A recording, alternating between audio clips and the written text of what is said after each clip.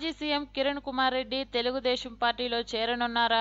వచ్చే ఎన్నికల్లో ఎంపీగా పోటీ చేయనున్నారా? టీడీపీలోకి కిరణ్ వస్తే తీసుకునేందుకు సీఎం సిద్ధంగా ఉన్నారా? కిరణ్ పార్టీలోకి వస్తే నాయకులు ఒప్పుకుంటారా? ముఖ్యమంత్రి చంద్రబాబు మాజీ ముఖ్యమంత్రి కిరణ్ల మధ్య నిజంగానే రహస్య చర్చలు జరుగుతున్నాయా?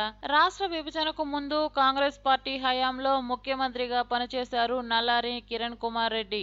ఎమ్మెల్యేగాను శాసనసభ స్పీకర్గా చీఫ్ విప్ గాను పనిచేసిన అనుభవం కిరణ్ కుమార్ రెడ్డిది. చిత్తూరు జిల్లా కలికిరి మండలం నగరిపల్లి కిరణ్ కుమార్ రెడ్డి స్వగ్రామం. కాంగ్రెస్ పార్టీలో కిరణ్ కుమార్ రెడ్డి తమ్ముడు కిషోర్ కుమార్ రెడ్డిలు చురుకైన పాత్ర పోషిస్తూ వచ్చారు. ముఖ్యమంత్రిగా పనిచేసిన తరువాత రాష్ట్ర విభజన జరిగిన చివరకు కాంగ్రెస్ పార్టీకి పదవికి రాజీనామా చేశారు కిరణ్. ఆ తరువాత జై సమాఖ్యాంధ్ర పేరుతో పార్టీ పెట్టి ప్రజల్లోకి వెళ్ళే ప్రయత్నం చేశారు. చివరకు చతికిలబడి రాజకీయాలనే పూర్తిగా వదిలేశాడు. కొన్ని నెలల పాటు రాజకీయాలకు దూరంగా ఉంటూ వచ్చిన కిరణ్ కుమార్ రెడ్డి జనసేనలోనూ కాంగ్రెస్ పార్టీలోనూ చేరుతారన్న ప్రచారం జరిగింది. తన సన్నిహితులు శ్రేయోభిలాషులతో సమావేశమైన కిరణ్ కుమార్ రెడ్డి ఏ పార్టీలో చేరాలో కార్యకర్తలనే సలహా అడిగారు. ఎన్నికల సమయంలో ఏదో ఒక పార్టీలో చేరాలన్న ఆలోచనలో ఉన్నారు కిరణ్ కుమార్ రెడ్డి. కిరణ్ ఆలోచనలో ఉండగానే ఆయన తమ్ముడు ఒకడుగు ముందుకేసి తెలుగుదేశం పార్టీ తీర్థం పుచ్చుకున్నారు. తమ్ముడు టీడీపీలో చేరడం ఏమాత్రం ఇష్టం లేక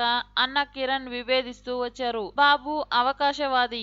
అవసరానికి ఉపయోగించి వదిలేస్తారని తమ్ముడికి నచ్చ చెప్పే ప్రయత్నం చేశారు. కానీ తాజాగా కిషోర్ కుమార్ రెడ్డికి రాష్ట్ర ఇరిగేషన్ డెవలప్మెంట్ కార్పొరేషన్ చైర్మన్ పదవిని అప్పజెప్పారు ముఖ్యమంత్రి. దీంతో కిషోర్ కుమార్ రెడ్డి ఆనందానికి అవధులు లేకుండా పోయింది. తన అన్న కిరణ్ కుమార్ రెడ్డిని కూడా ఒప్పించి టీడీపీలోకి తీసుకొచ్చి రాజంపేట ఎంపీగా పోటీ చేయించాలన్నది ఆలోచనలో ఉన్నారు కిషోర్ కుమార్ రెడ్డి.